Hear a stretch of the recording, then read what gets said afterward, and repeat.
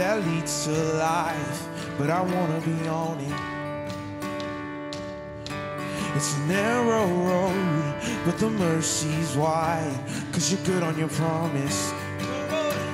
I'll take you at your word. If you said it, I'll believe it. I've seen how good it works, yeah. If you started,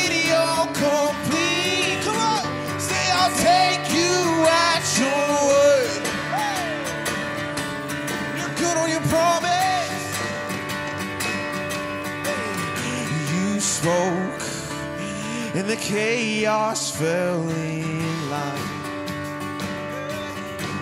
For I know, cause I've seen it in my life. It's a narrow road that leads to life, but I wanna be on it. It's a narrow road, but the mercy's wide, cause you're good on your promise. I'll take you at your word. Hey! If you said it, I believe it.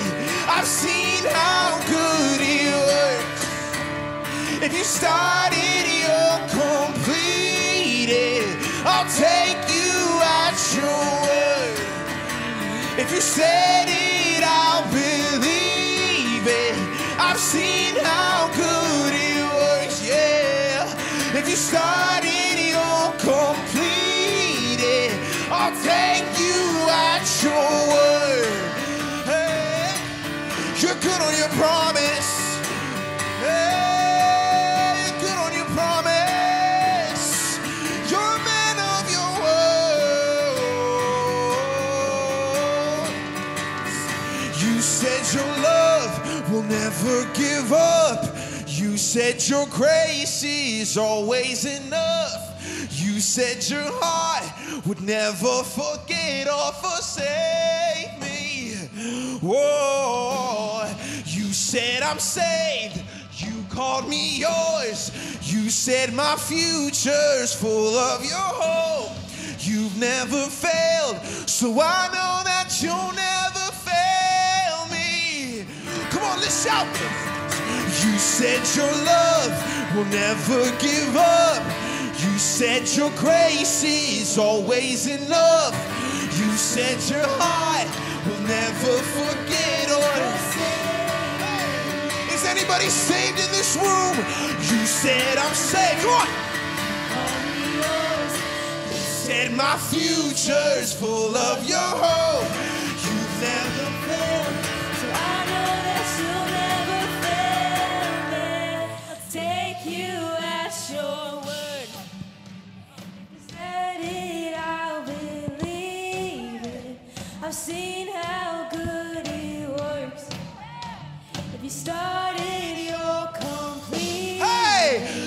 I'll take you at your word. If you said it, I'll believe it. I've seen how This is my testimony. Started your come. I'll take you at your word. Hey, hey. Anybody have faith in this room? I'll take you at your word. Oh, say I'll take you at your word. Oh, someone lift.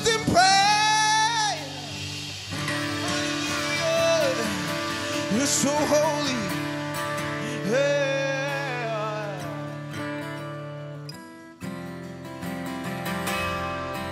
Lord, we thank you. We thank you, Jesus.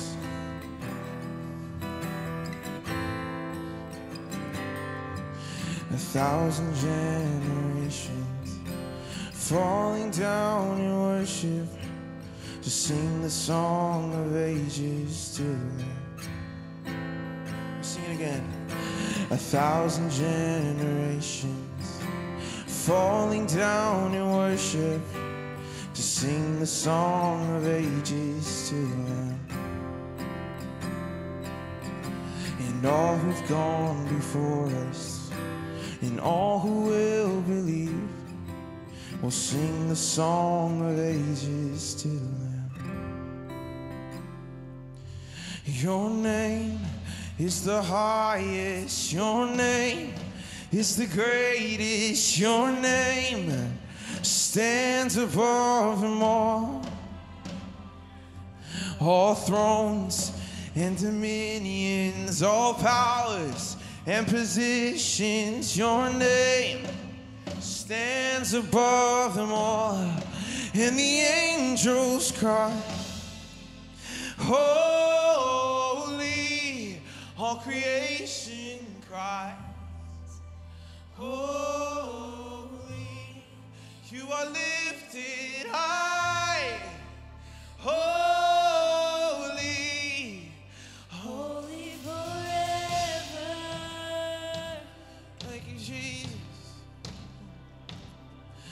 And if you've been forgiven, and if you've been redeemed, sing the song forever to the Lamb.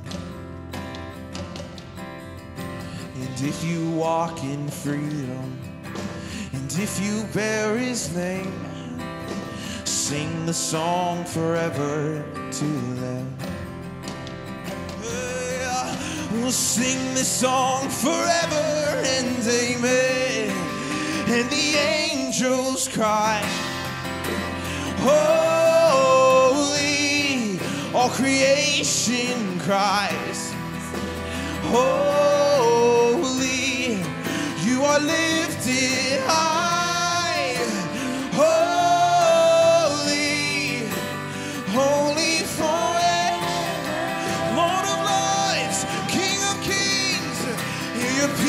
people sing. Holy to the King of Kings, yeah. Holy,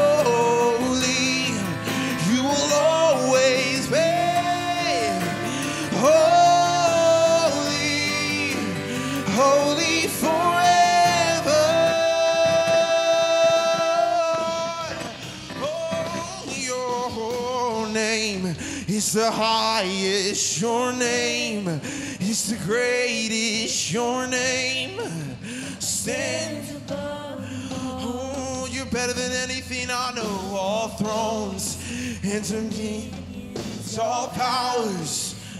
Oh, it's yours, Jesus. Oh, it's all yours. Hey, we sing your name is the highest. It's the highest. Your name, come on. It's the greatest. Your name stands above them all. Through every throne and dominion and dominions, all powers and positions. Your name stands above them all, and the angels cry, Holy! All creation cries, Holy! You are lifted high, yeah. Holy! holy forever. Yeah. Hear your people, hear your people sing. Holy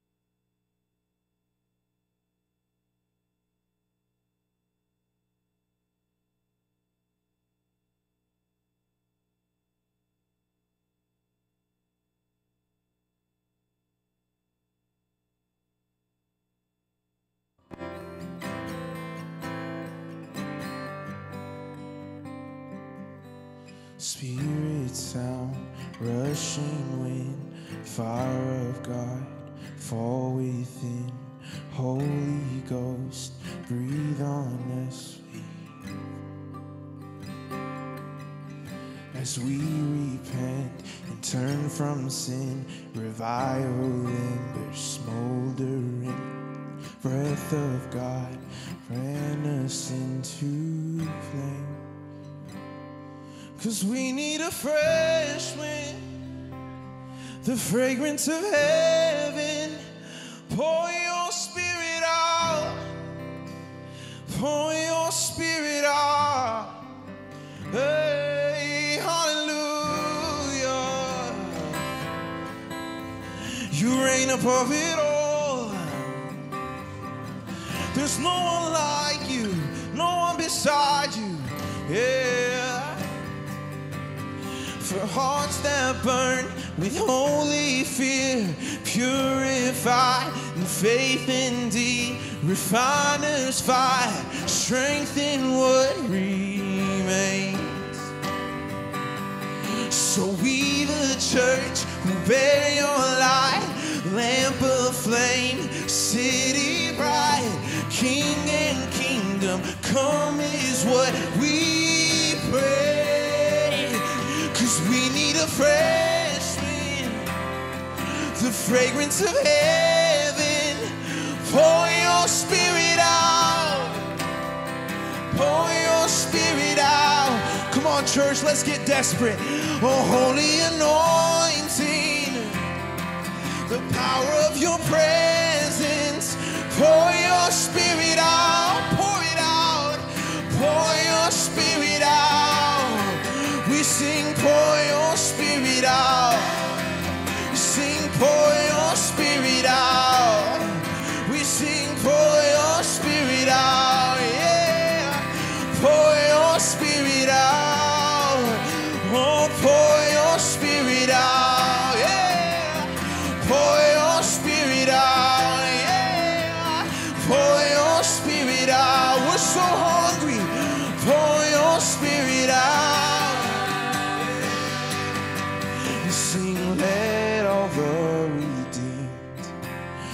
Prophesy and sing.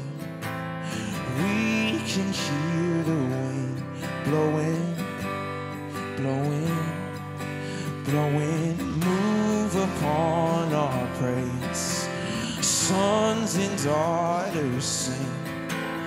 We can hear the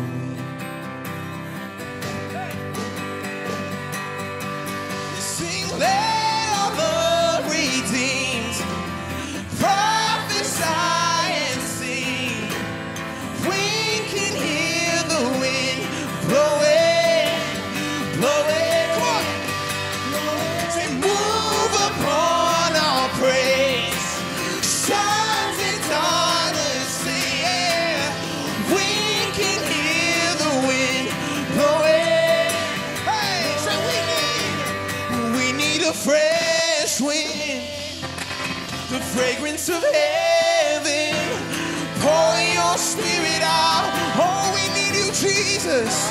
Oh, we need you, Lord. We sing a holy anointing. Sing the power, the power of your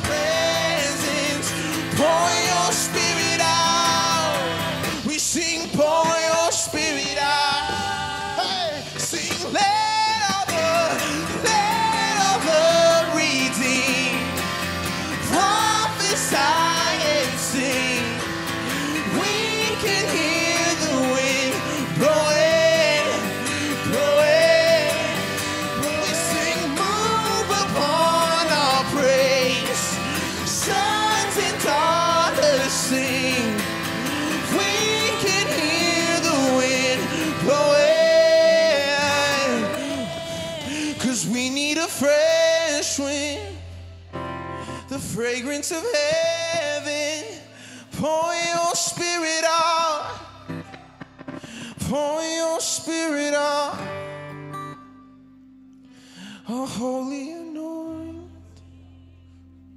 The power of your presence. Pour your spirit out. Pour your spirit out. We sing death could not hold you. The veil tore before you. You silenced the boast of sin and grave. The heavens are roaring the praise of your glory. For you were raised, for you are raised to life.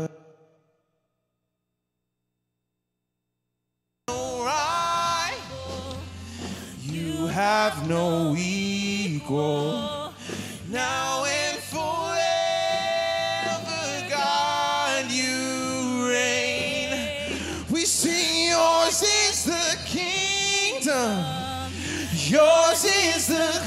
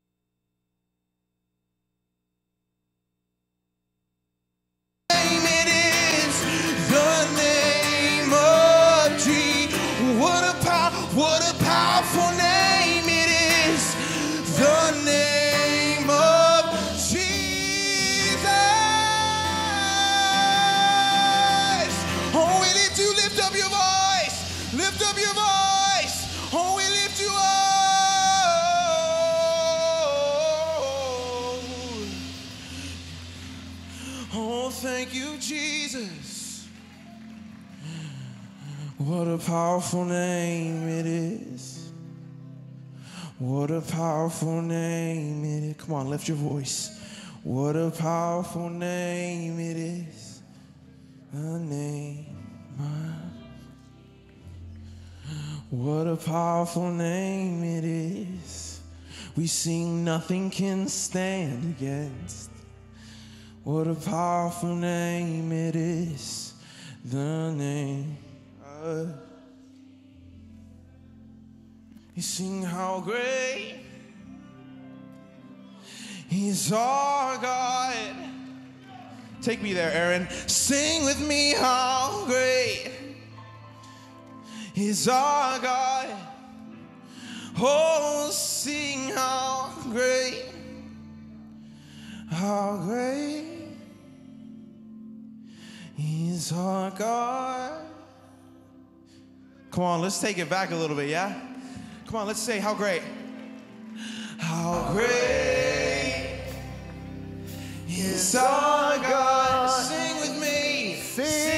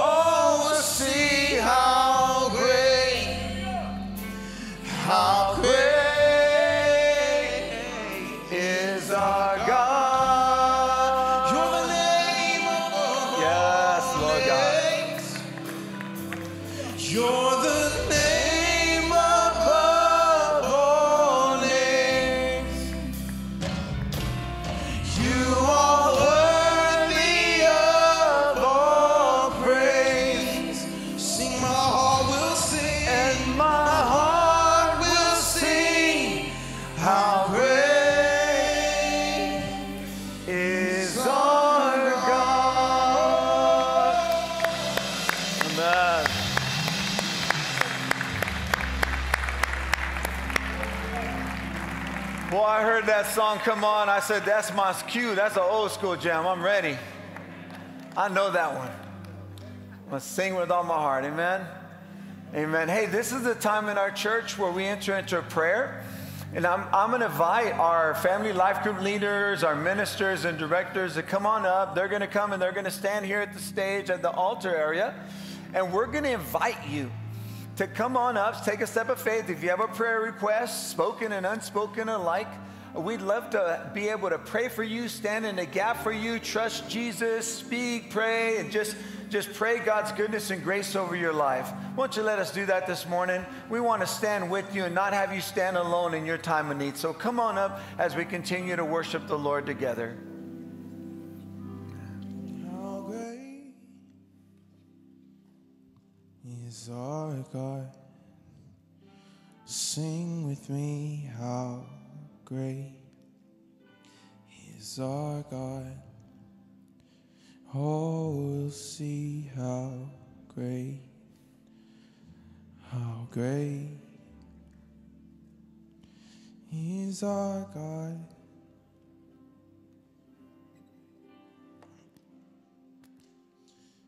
Sing how great is our God.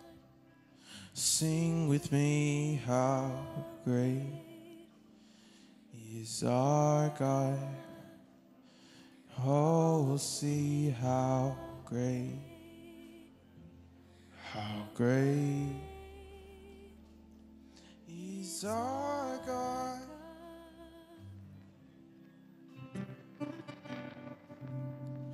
Sing how great is our God. Sing with me how great is our God. Oh, we'll see how great, how great is our God.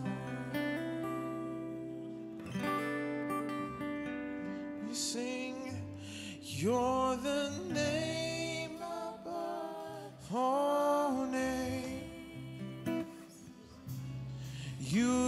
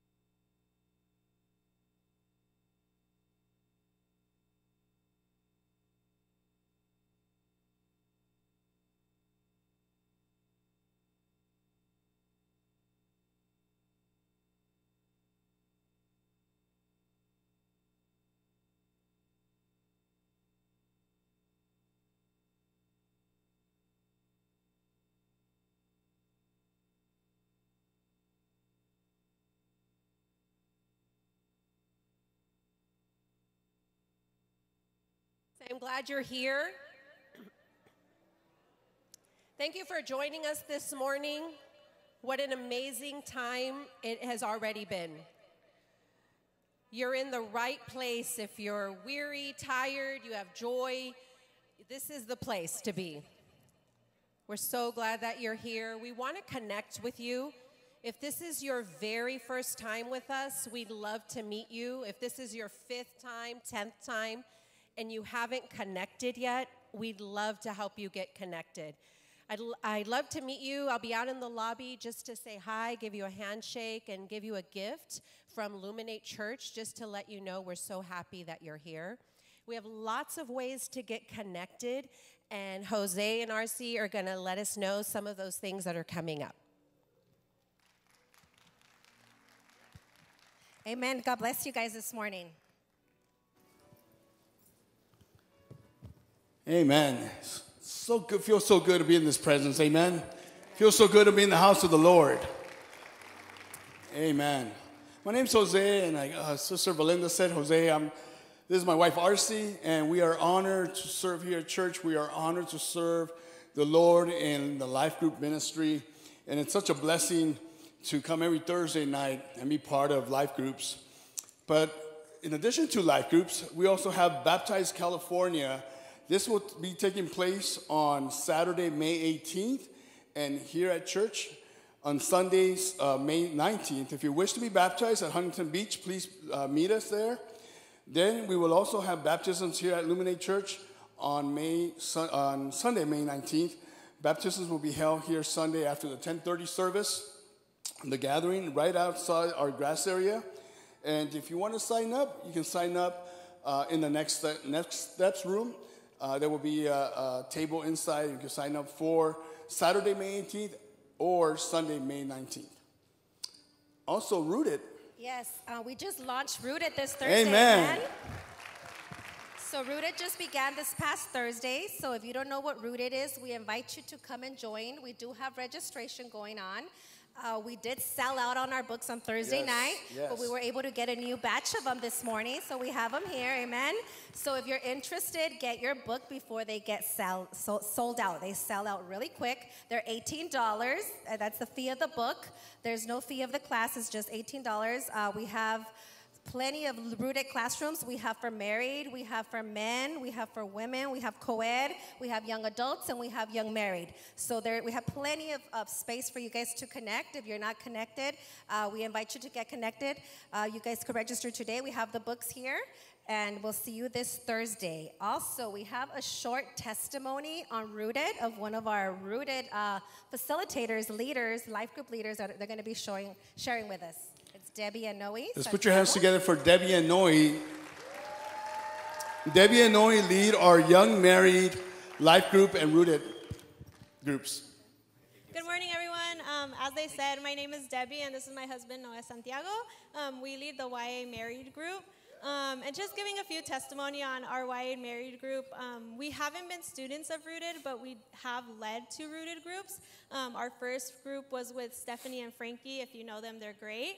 Um, yeah, woo! um, but it was a great time. The first time we led Rooted, it was actually when Pastor Tommy first started the Thursday night groups, and it was a great way to just get connected. I know Sunday seems like the best time, but Thursday nights are really amazing because you get to connect closer, and especially um, with groups that's particular to what you're looking for or connection that you're looking for. As they said, there's women groups, men's groups, um, young adults, and everything else. There's also youth on that night if you have kids.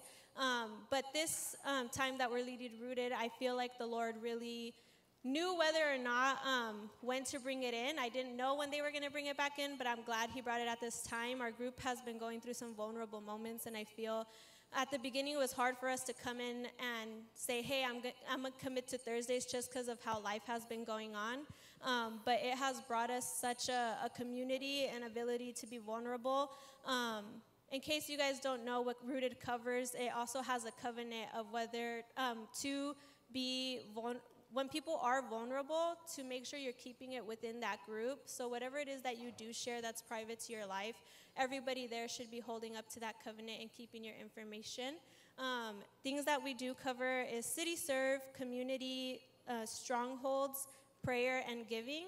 Um, so if that speaks to you and something you want to grow in your relationship with Christ, I do urge you to come. We do talk about all those topics and we just grow with other people. Do you have anything that you want to add?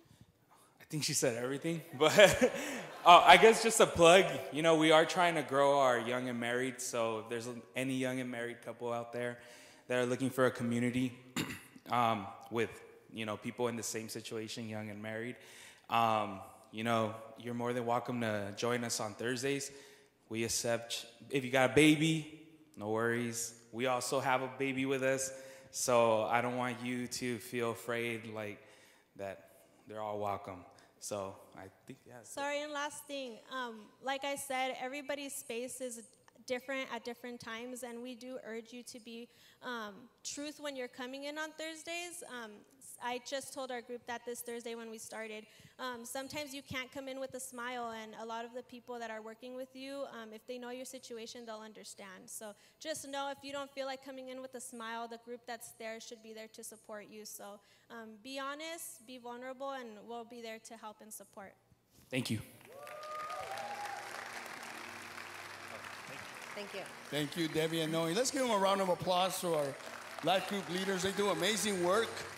Amen. So just like they said, we do have childcare on Thursday nights. So if you're worried about where am I going to leave my child, we do have childcare, and we also have youth. We have middle school and youth going on at the same time. With Amen. With that said, youth ministries, they're going to be going to convention pretty soon. Amen. So we need to assist them. They're, so today they have a, a enchilada plate that they're selling. They did pre-sell tickets, but if you haven't bought your ticket, you could still purchase your enchilada plate ticket at the door. They're ten dollars, and once again, it's so we could sponsor them and send them to convention. Amen. Amen. Also, uh, we're so excited. We have Grace. We have our women's event, Grace Women's Event coming up. It's going to be on May the 18th at 9 a.m. We do have a QR code. Uh, that way you could pay for it. It is $20. Um, with the QR code, we have a guest uh, singer, Lucia Parker, and our speaker is Melanie Foost. Uh, so we um, are expecting a great blessing from the Lord. So um, if you know of any women that are not coming to this event, we encourage you to invite them to come. Also, if you miss out on the QR code, they have it up in the front in the information booth or the next step. Amen. Amen. Amen. Oh, where are the business leaders here in church? Yeah, all right. We got a few. Business Leaders Network breakfast will be taking place April 27th at 7:30 here at Luminate Church inside the chapel and registration is $10 and this includes breakfast. This is a great opportunity for all business leaders to connect and with others and network with others uh, with your local businesses. So if you're interested in this breakfast event and networking, uh, see us at the table. There will be a table outside in the lobby. And lastly, Golden Torches, our seniors. Where are our seniors? Let's hear it for our seniors. Sunday Night Live will be taking place April 21st at 5 p.m. out in the lobby here at church. Doors open at 4:30. We have a special speaker, Don Mazziola, speaking on the God of a second chance. I am so grateful for my second chance. Amen. And we are going to have worship that night by Sean Warnicki, and snacks and refreshments will be provided. Amen. I want to welcome Pastor uh, Tommy, our, pa- our pastor for Luminate Church. Thank you so much, everybody.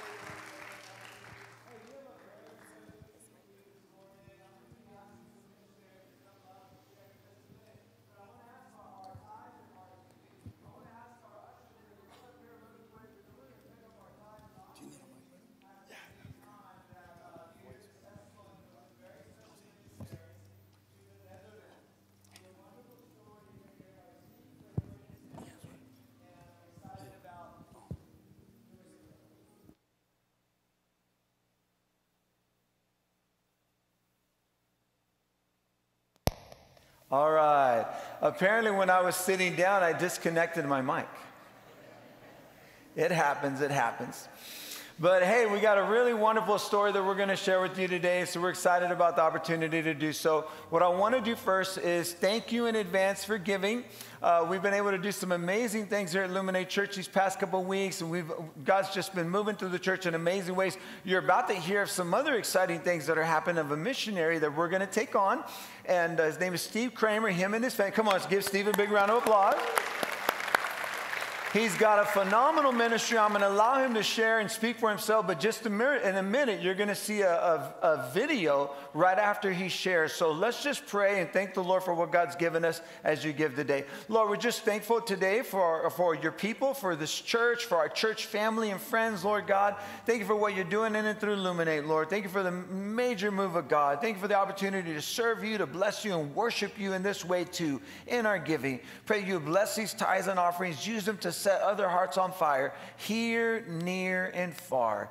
And everybody said, Amen. Amen. Amen. Thank you so much in advance, church family. Hey, uh, I think that microphone's working now, Steve. You can, you can, you can take it away. Just share a little bit. I think this is the first time we've met, right? Yeah, absolutely. And thank you so much for coming out with you and your family today. Yeah. Well, thank you, Pastor Tommy, Illuminated Church for having us. Um, Is that? That's the first time I've ever been told my voice wasn't loud enough, so it's good to be here this morning. How many people believe God loves to do the impossible? Amen. See, when I was born, I was born three pounds, two and a half months premature. Doctors came in and told my parents that if I even survived the night, I would never walk or be productive. But God had other plans. Ephesians 3:20 says, God is able to do immeasurably more than we could ever ask or imagine according to his power at work within us. I won't get into the whole story, but it left my parents absolutely, I was born di- diagnosed with cerebral palsy, it left them feeling hopeless, devastated. Anybody have dark times in life? But in Needles, California, a little Assembly God church, they knocked on the door and said, Can we help you move into, we're moving into this town. They said, Can we help you move into the house? It was that simple act of kindness and compassion completely changed the trajectory of my life. So you're about to see a video that God takes the darkest valley of your life and wants to use it to bless not only you, but your neighbors, from the neighborhood to the nations. And so we want to thank you for partnering with us. Come see us at the back table later. Bless you.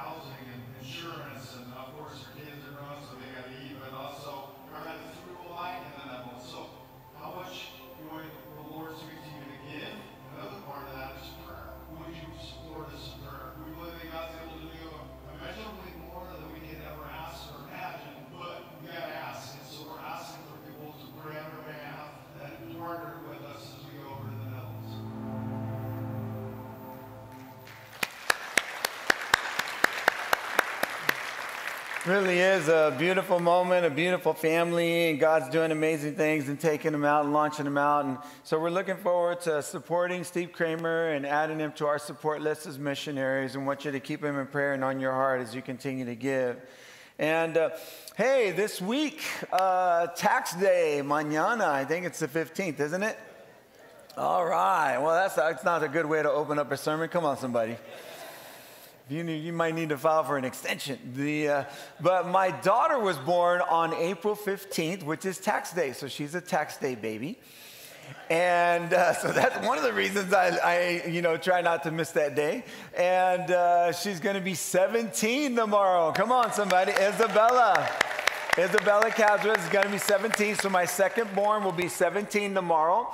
When she had a 50, she was 15 years old, she had a little quinceañera. I told her the, the meaning of the word quinceañera meant 15, so we told her she could invite 15 people to a party. Come on, somebody. How many know I'm about to do the same thing to her? She can invite 17 this year. What's up? 17, 17 invitees. There you go. Keep the budget down. The, uh, but hey, I want to I want to talk to you today. Where I really appreciate Dr. Tanya last week and Pastor Rudy Paniagua shared in our Spanish ministries, uh, imperfectly perfect. And the message series that we really had kind of uh, uh, dreamt up had to do with don't trip right over our imperfections because we're imperfectly perfect. And today I want to talk to you about don't trip over temptation. Don't trip over temptation. And it's funny because I was jogging on a treadmill, and I've been jogging on a treadmill a lot lately because it rains off and on, things of that nature, and the wind and things like that. So I thought, oh, let me just make it easy, get used to jogging on a treadmill, and it's softer on my knees. So here I am jogging on a treadmill, and I'm jogging on a treadmill, and so I figured, hey, I'll listen to an audible book. And then sometimes I'm jogging on a treadmill, and I'm thinking, hey, I'm going to listen and watch a YouTube video. And so uh, more than more often than not, I'm watching a YouTube video. And a couple of interesting things happen when you're watching a YouTube video. They keep inserting these commercials in your YouTube video. So I'm jogging, I'm running, these commercials keep coming up. And sometimes they'd be long commercials taking over the video.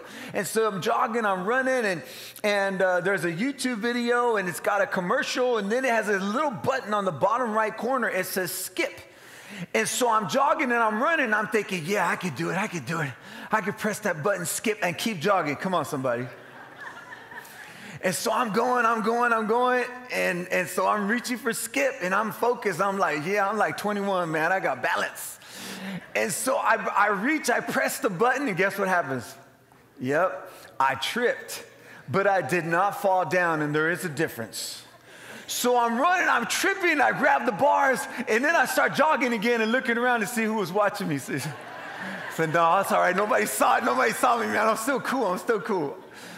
And, uh, but there's a difference between tripping and falling down. right? But I could have eaten it and it would have been pretty bad. Uh, but uh, thankfully I survived. And you know, I've, I've, I've tripped them many other times. I've tripped kind of walking the sidewalk and you're on your cell phone and you walk off the curb and you didn't see the phone because you're paying attention to your cell phone. And you know, I've tripped, uh, stubbing my toe on the, on the bedpost in the corner. And, and when that happens, that's tragic, man. That thing is painful. I don't know what it is. It hurts like nothing else when you, when you cram your, smash your toe on the bedpost there. So today's message is about don't trip over temptation. Don't trip over temptation. And what I want to do is, I want to focus in on the fact that I think there are times in our lives where we really feel stuck. I think there are times in our lives where we really feel stuck and we're trying to hit, we're trying to, you know, we're going after something, we're, we're, we're, we're you know, we're, we're trying to hit that button, we're trying to, set, you know, uh, uh, get over that frustration or hurry up something, or, or maybe we're trying to skip out on something and it's not a video. Maybe we're trying to skip out of a broken heart. Maybe we're trying to skip out of anger. Maybe we're trying to skip out of a disappointment. Maybe we're trying to skip, skip out of something that's missing in our lives. And we're attempting to skip out and skip over part of the process to our healing, and maybe we feel stuck. And maybe sometimes feeling stuck has to do with, with particular ways of, of, temp, of responding to temptations. Uh, it could be like overeating, it could be substance abuse, it could be pornography, it could be spending, spending, overspending, it could be lying, it could be gambling. All these different ways that sometimes we feel stuck. There's almost like this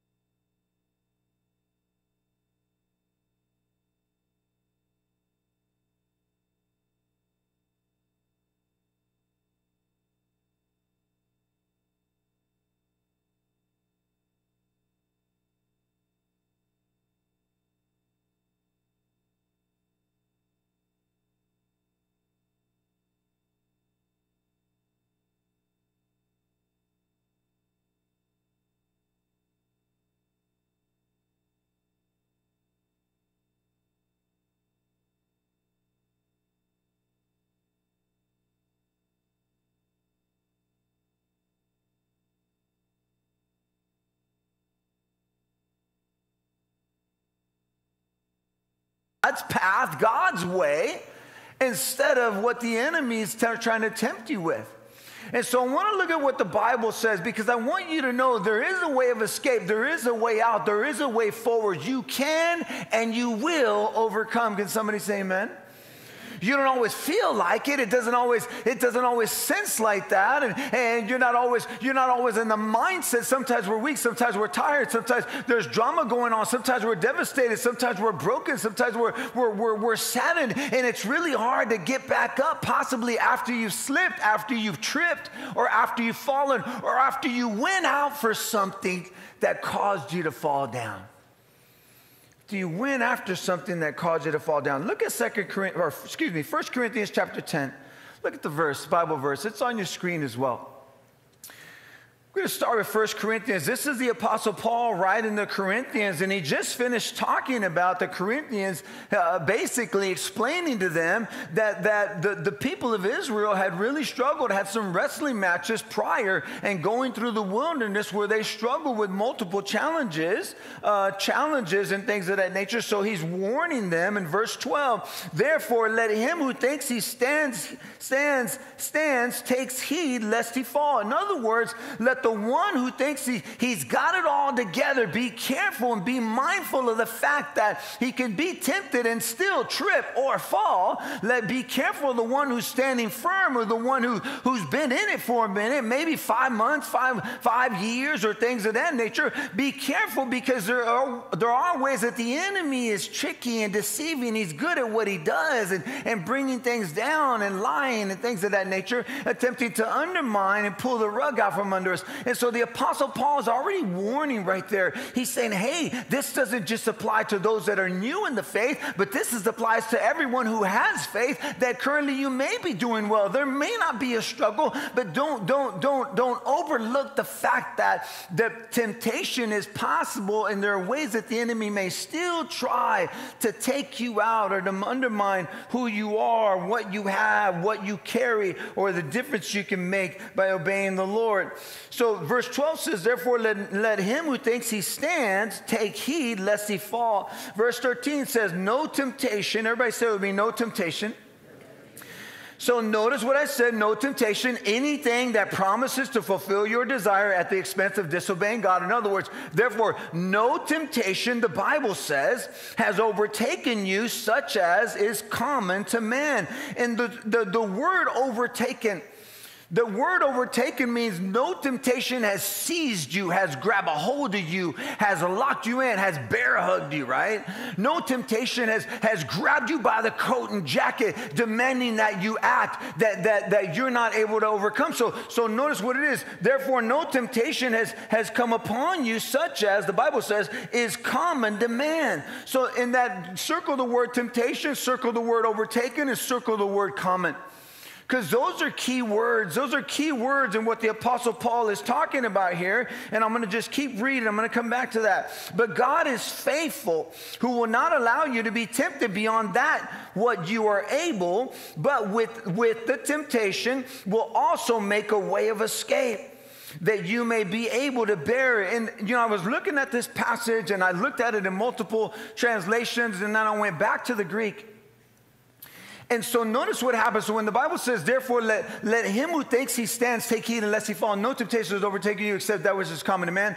But God is faithful, who will not allow you to be tempted beyond what you are able. The word, the word beyond what you are able means your power and ability. It's the same root word from dunamis, but in here it's, it's different. It's a different version of dunamis, meaning your power and your ability. In other words, and apparently, God gives you some sort of power and ability, not just to say no, but to go beyond and above and to overcome. So, God apparently gives you some sort of power and ability to defeat the enemy, to overcome the temptation, to push through, to go over, to press beyond, and to get to the other side. So, so that word, you are able it has to do with power and ability. And then the Bible says, look at the last part of the verse, but with the temptation will also make a way of escape that you may be able to bear it. Now, that's a different word. Bearing it has to do with enduring, persevering, making your way through, or able to carry the load of whatever it is you've got to go through or suffer through because of it. So now notice the Lord has got both sides of this. So, so, so you've got power and ability to overcome it, but this power and ability is going to get you through. Notice what's in the middle. Notice what's in the middle. But with, everybody say with. So I was the reason I was looking at this scripture in the Greek because I just wanted to break down the key terms and the words and the phrases. There are some translations that say, "But when you are tempted," but when you are tempted. And if you notice, the Apostle Paul is already saying, You're going to be tempted. The people before you were tempted. The people in the faith a long time were tempted. The people just starting are going to be tempted. The people that have been in it for a minute are going to be tempted. And the people that have been here 10, 20, 30, 40 years with it will most likely be tempted. So notice what the Apostle Paul is saying. I, I believe the text fits better, not just with the Apostle Paul in verse 6 and following, talking about the cravings and lust and evil desires that lead you astray, idolatry, sexual immorality, and then he talks about tempting God and murmuring. So the Apostle Paul is already breaking it down. He says, hey, the temptations happening. Here are all the ways that we mess it up and that we fall, right? And so, so here, I believe the Apostle Paul is saying, not but when you are tempted. I believe the, the Apostle Paul says, but with the temptation. In other words, God gives you the power that when you are tempted, whenever it is that you are tempted, with that temptation comes the way out. Can somebody say amen? It's simultaneously both end. You're not stuck. And you're not going to be in it forever. and you're not going to, it's not that this is never going to go away or that you're never going to overcome. It's not that there'll never be a day where you won't be free, can't live free, and will never experience freedom. That's not true. The Bible says that the temptation, with that temptation, with that temptation, simultaneously comes a way of escape. God has already made a provision. God's already opened a door. God's already declared there's this is the way. God's already shown a way out, a way that you're going to make it, a way that you're going to persevere. God's already broken open a, a hole at the end of the tunnel. Come on, somebody. God's already said with this temptation, simultaneously, God has given you a way of escape. So let's look, let's look at, let's look at what, what, uh, what, what we mean by that a little bit more. Because the Bible says here, temptation, there is no temptation that is not common to man. In other words, sometimes we think our struggle is special. Come on, somebody. We think our struggle is special. We, we, we, we, we think our, our difficulty, our, our addiction, we think our problem, our, our spending, our gambling, we think that's special. We think nobody else in the world has ever struggled with that. Nobody else in the world has ever struggled with, with, with, with, with the uh, anxiety. Nobody ever in the world has ever struggled with fear of the future. Nobody else in the world has ever struggled with anger and hatred and bitterness and revenge and things of that nature and unforgiveness. Nobody else, just me, right? Nobody has gone through what I'm, what I'm going through right now. Notice what the Apostle Paul says. He says, All these temptations are common to humanity, they're common to existence, they're common to being alive. But there's a difference between tripping and face planting, right? There's a difference. There's a difference. You still get to choose. You still get to decide. That is not removed from you. It is still within the dunamis, the dunastai, your ability to do so. It is still within your power to do so. To do what? To bear it, to endure it, to get through it, to find the way of escape. It's still there. Can somebody say amen? Amen. Come on. Because there's hope, folks. There is a way out. I'm going to just break down temptation, the truth about temptation, number one, and in your notes as well and on the screen. The truth about temptation, number one, the truth about temptation, it is not a sin to be tempted. It is not a sin to be tempted. Remember what the Bible says about Jesus in Hebrews. He's the great high priest. He's not a high priest that doesn't know. He's the one that does know. He's the one that has been tempted in every way that we have in our humanity. But the Bible says Jesus was tempted but did not sin. Jesus was tempted and did not sin. Well, notice what happened in the desert when he's wandering in the wilderness. After 40 days, then the devil going to get him. When? After 40 days. Not at the first day, but after 40 days. When he's weak, when he's tired, when he's hungry. Come on, somebody. The enemy knows when to attack. The enemy knows when to come after you. After the 40 day period, all of a sudden Satan shows up and he says, Turn these rocks into bread. He says, He says, Hey, he says, jump off of this cliff and the Lord will send angels to capture you. So trying to tempt God. And then he tells the devil, Hey, look at all the kingdoms of the world. And, and if you bow down and worship me, and my wife always says, Why would the devil tempt Jesus with something that already belongs to him? Come on, somebody. Why would the devil tempt you with something that already belongs to you? Isn't that funny? What you need, may you may already have, you already possess. It's already there. Just got to work on it. Just got to develop it. Lord, the Lord's already blessed you with it. Amen. And number two, truth about temptation. The truth about temptation, you are not above being tempted. I know you're doing good. I know you're rolling. I know you got it together. And I know you've been in it, you know, for five weeks. Come on, somebody. I know you've been serving the Lord for five months or five years and, and things are going great, but we are not above being tempted.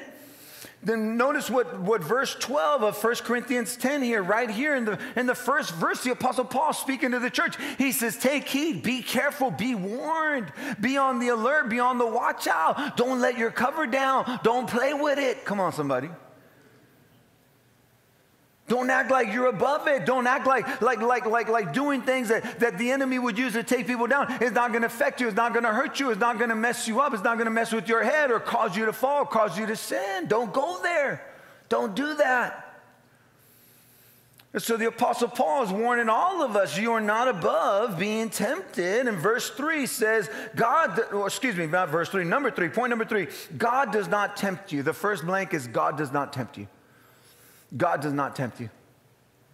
And here's what I mean by that. In James chapter 1, verse 13, the Scripture talks about basically God will test you to prove what's there, to prove what you're made of, to prove what you got. God will allow you to go through a trial, through a difficulty to, to kind of shore up and own up and, and buckle up, right? And get stronger. And, and that's not a bad thing. That's a good thing. Come on, somebody. How many know when your kids make a mistake and you take the phone away and make them do chores for the rest of your life? Come on, somebody. My goal is still never to, never to wash dishes again until Jesus returns. So sometimes I just start making stuff up, tell my kids, oh, you're in trouble for that one. Wash the dishes. Come on. It's working. It's working. And so what happened? God doesn't tempt you, God will test you. But God's not going to tempt you to sin against the disobey the Lord. Satan tempts you.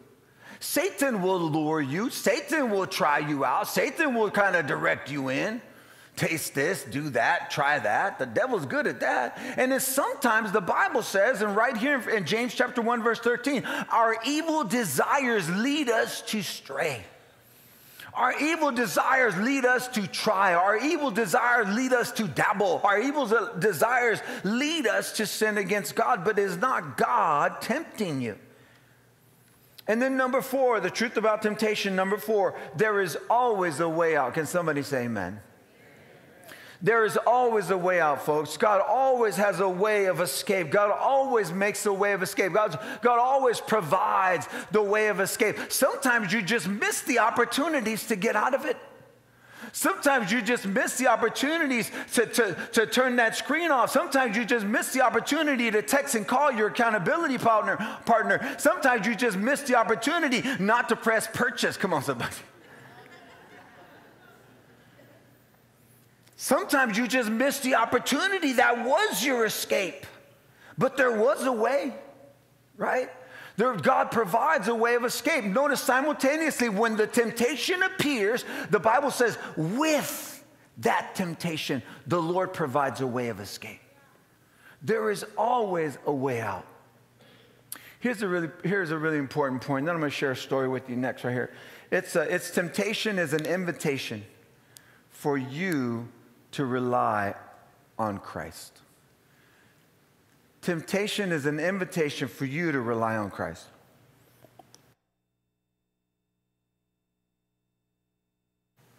Did you get that in your notes? So notice what happens. Sometimes temptation is a growth opportunity in your own faith and in your own walk to see what you're going to do, how you're going to react. Are you going to go the way of Jesus? Are you going to go the way of the Lord? Are you going to obey God, submit to God? You tripped, but you didn't fall. You tripped, but you're still running. And sometimes you tri- trip, if you fall and you scrape your knee, that doesn't count as a complete fall. Come on, somebody. I've done that before too. I bounced up magically. Wapa, bounce back up. Did you fall? Oh, I'm good, I'm good. Your knees all bleeding inside, blood running down your pants, man, it's bad. You, you're all ripped up.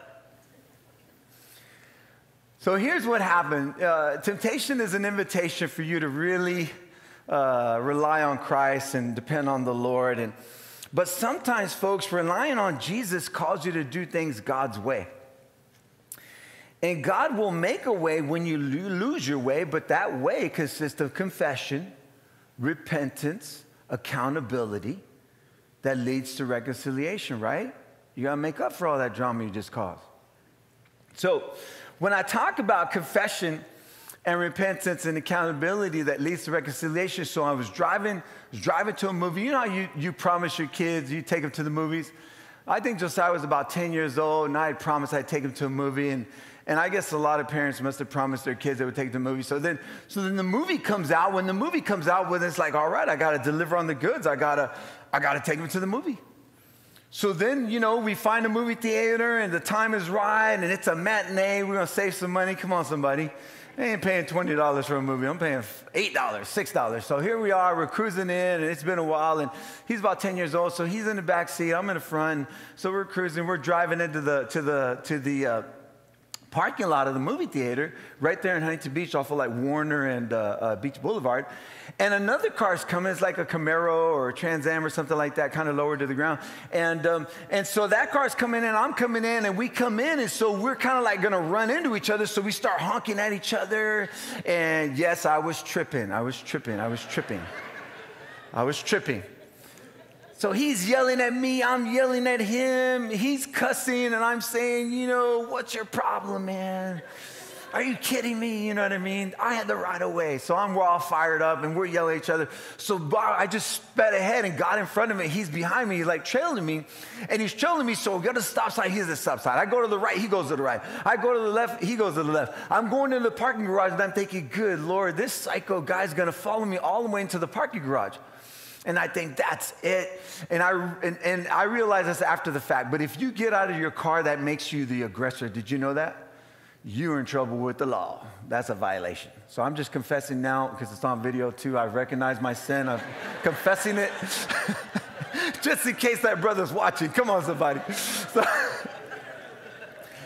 so so here I am. I open the door, man. I get out of the car. I said, Bro, what's your problem? You know, are you kidding me? This and that. So then all of a sudden, remember, it was like a Camaro Trans Am low to the ground?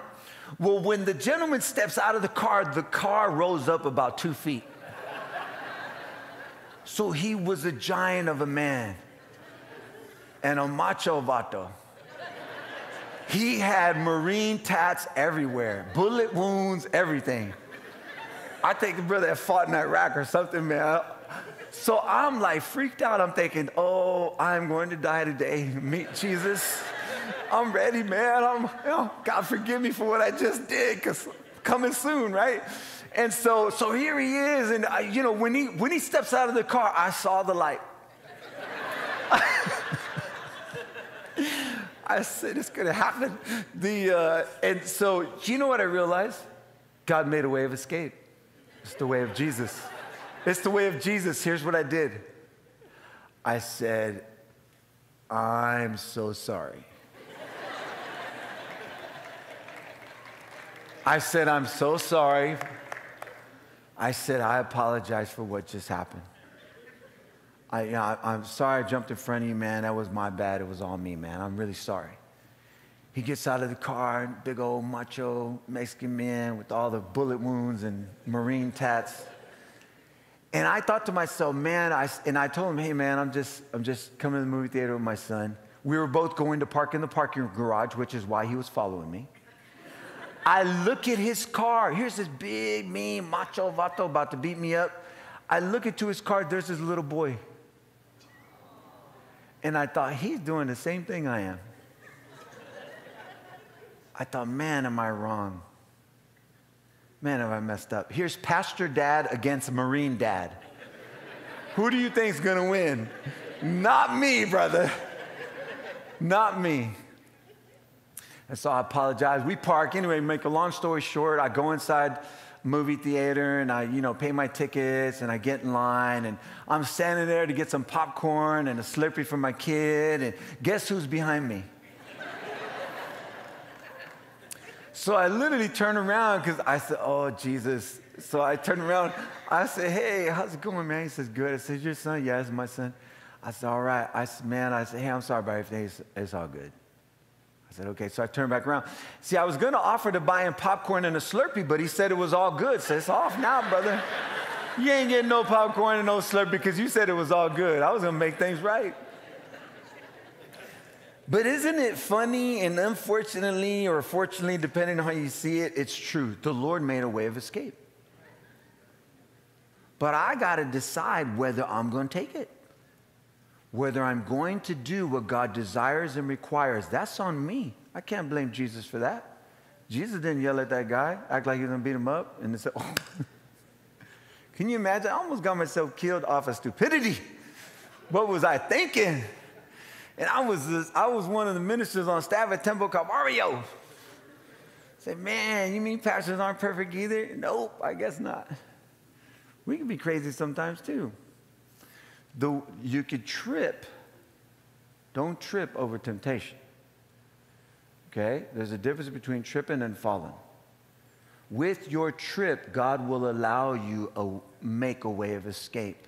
You get to choose, you're going to take it. Amen? Come on. Hey, let me wrap it up like this. Sometimes, you know, we want to change, we hope to change, we try to change, we're not sure if change is possible. Change is real. Real change is heart transformation. Real change is a heart transformation. But what happens? There's a misdirection to transformation, and that misdirection is sometimes we think it's first it's an encounter with God, and then it's all on me because God ain't got nothing to do with it. It's like it's like you come and you say yes to Jesus, and then after on Sunday, and then you just like it's between you and you alone on Monday through Saturday because God ain't with it. God's not God's not with you. God's not God, God's not involved. So sometimes it's misdirected transformation. We think first God, then me, and it's not exactly true. We can't live for God, serve God without God. Come on, somebody. The Bible says, Greater is he that is in me. The Bible doesn't say I'm greater because him. The Bible says, Greater is he that is in me than he that is in the world. But the Bible doesn't call me to go it alone on my own. You know, that's why I think rooted is so important. The rooted curriculum, my wife and I have done the rooted program at least three times, and so powerful. Uh, the, just the prayer, the transparency, the vulnerability, the, the, the, the sharing, the dialogue, the growth opportunity forward. That's why I think our family life group ministry is so, so powerful on Thursday night at 7 p.m. You know, we also have family home groups that meet on different days throughout the week, just in case Thursday night doesn't work for you. But, but, but it, it's kind of like not, not, it's not just God, then my turn. It's like, wait a second, there must be another way to go about doing this. Here's, a, here's, another, here's another misdirected path. The other misdirected way of thinking about it, like it's all God and none of me. Like God's gonna, if God wants me to get a job, God's gonna give me one. I ain't even gonna apply. Come on, somebody. How many know you're gonna be unemployed for a long time? If God, so you, so you're at home and you're on the internet and you got that Amazon credit card and you just click, click, click, click, click, click, click, click, click and you don't even look, you don't even look at the balance, you know, you're just paying minimum $35 required, 45 You got like a, like $4,000, you're like $35, right? But you're like, if God wants, to be debt, wants me to be debt free, God's gonna let me win the lottery. Come on, somebody. You, you're gonna be triply broke, right? But it's kind of like the misdirected transformation. Sometimes you say, you think all of God and none of me. And other times you think, oh, you know, God first, and then I got the rest. I'll handle this. I'll handle my marriage. I'll handle my kids. I'll handle the future. I'll handle my struggles and my drama. God, you know, I'll see you on Sunday. So both of those are misdirected paths to, to transformation. You know, the right way to do it and the proper way to do it in your notes, real change, real change is God through me. Real change is God through me. Why? Remember last, last week when I talked about when I said, grace does not leave you the way grace found you, grace changes and transforms you. But, but, but God's not going to do that without you. But without God, you cannot. So it's really God through you that is the key. You know, when, when, when, when, when Rambo was about to kill me, and Conan the Barbarian was about to rip me to pieces, and Thor was about to thump me away, you know. Hey, wait a second, you mean there was something that I still had to do? Yes, I had to take the way of Jesus. I had to go the way of Christ, the way of confession, the way of repentance, the way of owning up, taking responsibility, and the way of offering you know, the olive branch in the sense of, hey, I'm sorry, you know, can, can we be good? Are we good? If he'd have said no, I'd have bought him two boxes of popcorn and two Slurpees, one for him, one for his son. I'd have hooked that brother up. But stand on your feet with me today. I, I'm, I'm making light of something that's very serious. The way to transformation is God through you. 2 Corinthians chapter 12 verse 9 says in your notes, God's grace is sufficient for you because God's power is made perfect in your weaknesses. And you know what? One of the verses that I love, and I don't know that we always realize how empowering this is for breaking, breaking chains, breaking bondages, and living free and overcoming our challenges and difficulties. It's, it's the book of Philippians, chapter 4, verse 13. It says, You can do all things through Christ who gives you strength. Somebody say amen. Amen. Just with the time we have remaining, just bow your heads really quick. Just bow your heads. I just want to pray over the congregation. Now, you may have been, you may have said yes to Jesus last month, last year, or, or five years ago. It may have been a long time. But maybe you've been taking the path of, you know, God first and then I'll handle the rest, Lord. I'm going to do it to the best of my knowledge and ability and however it is that, that I've understood it so far. And, you know, I'm good, God.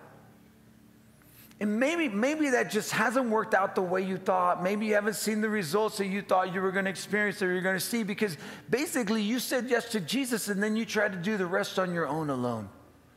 I want to pray for you today to surrender fully to the Lord working in you and through you and to you doing things God's way. And then maybe, maybe you just kind of misunderstood. You know, if God's going to do all this, it's going to be supernatural. The clouds are going to part. You know, uh, uh, all these prayer requests you're asking for are just going to drop from the sky and slap you in the face and land right in your lap. You know, that may not be the case. I'm not saying that it can never happen. But all of God and none of you isn't exactly what the Bible tells us to do. I think first, I, I think First Corinthians warns us about God making a way of escape, and I think we get to choose, we get to decide. Notice God's ability, God's power, God's presence, God at work in us, with no matter what happens and what comes our way. It's God working in and through you. I think that's the way forward. That's the way forward. Just bow your heads right now. Lord, I'm praying over the congregation today, Lord God. We thank you for, for the familia. We thank you for your people today, Lord. We thank you for what you're doing in the here and now. Thank you that you are with us, you're at work in us, and you are working through us. And God, I just pray for greater levels of surrender, Lord God, greater levels of surrender, greater levels of, of just submission, Lord God, submitting to you, crying out to you, seeking you, Lord, that as a church body and as a church family, we would stop trying to do it on our own, Lord. Alone, God, but that we would unite, we would gather, we would join, we would, we would sign up, Lord God, to move forward in our faith and next steps, to move forward in our faith and in the family life groups, whether that's on Thursday or throughout the week. Some way, somehow, we would plug in and get in. So that it's not just us on our own alone, Lord. And Lord, in those times where, Father, it's, we feel stuck, and we haven't moved, we haven't sensed the ability to move or the power to move. Lord, can you remind us today that through Christ, we can do all things. We can do this too. We can face that challenge. We can confront that situation. We can overcome that drama. Father, we can, we can, we can, through the power of your spirit, that chain can be broken finally, once and for all. We see a day in the future when we are fully free, God. And we declare it in our heart of hearts. Where there is reconciliation in our home, in the familia, where there is forgiveness flowing from heaven's throne because it began with us. We received it and we shared it. We pray for that today, God. God, you would work in and through us, that we would choose you and choose your way. And just with your head bowed and your eyes closed, you're like, Pastor Tommy, man, I, I've been far from the Lord. I've never said yes to Jesus. I've never fully surrendered. I've never made a decision. Folks, real transformation starts with the heart transformation. Real change starts with the heart transformation. That's where it begins. It's God's power at work in you. That's where it begins. That's the invitation. That's the chance I want to give you today. Jesus didn't come to make you better. Jesus came to rescue you, to save you, to change you, to set you free. And it starts with a new heart. Just with your heads bowed, I just want to invite you right now. If you're saying, That's me, Pastor Tommy, include me in this prayer for salvation. I want that new heart you're talking about today. Just raise your hand, just lift it up high so I can see you from up- up here. Thank you, thank you, thank you. Just lift it up high between you and the Lord. Just as muscle memory right here. You're saying, I mean it, I did it, I said it, I'm, I'm inviting Christ into my life. Just lift your hand up to the Lord and say, That's me, Pastor Tommy, pray for me. Thank you, thank you, thank you, thank you, thank you. Thank you, big guy. Thank you, brother. Somebody else, just lift your hand up say, Pastor Tommy, that's me. I want to accept Christ into my life. I want to start today with my new heart and my new start. As somebody else, we got time here. I don't want to rush this moment. It's a significant moment. Amen. Thank you over there to the right as well. Thank you, big brother, right here. Amen. God is good. God is good. Thank you up at the top. Amen. Amen. Amen. God is good. God is good. Thank you up at the top as well. I see you. All right, everybody, put your hand over your heart. Put your hand over your heart. Just say, Lord Jesus, thank you for loving me. Thank you for receiving me just as I am, imperfect, in need of you. I ask you today, forgive me of my sins. Wash and cleanse me. Make me whole, Lord, like only you can. I believe you lived and died. You rose from that grave, and you did all that for me, for, so I could be forgiven. And I receive that forgiveness today. And I choose to follow you, Jesus, all the days of my life. Fill me with your Holy Spirit.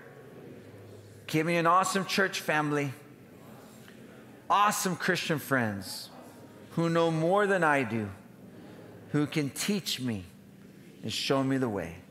In Christ's name I pray. Amen and amen. Come on. God is good.